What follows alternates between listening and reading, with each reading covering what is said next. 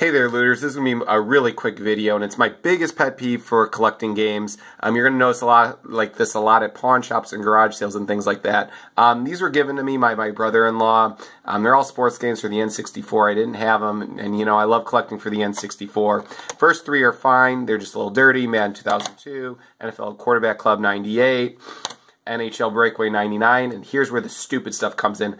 I hate you, Blockbuster. Um, this is NHL Breakaway 98, and they put these stupid labels on them. And property of Blockbuster, basically what it says is removal of the N64 shield will cause permanent damage to this label. Um, it will, when you try to peel these off, it completely rips away that front label.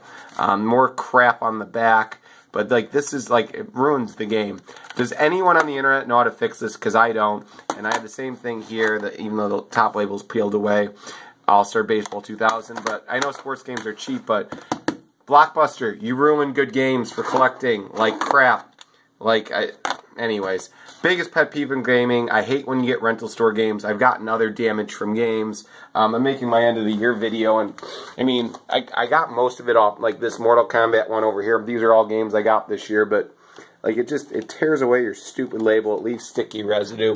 But anyways, thanks my, to my brother-in-law for free games. Um, but like I said, just ticks me off that that stuff was done. Uh, you'll be seeing a new video from me soon, but yeah, I just needed to post that and vent.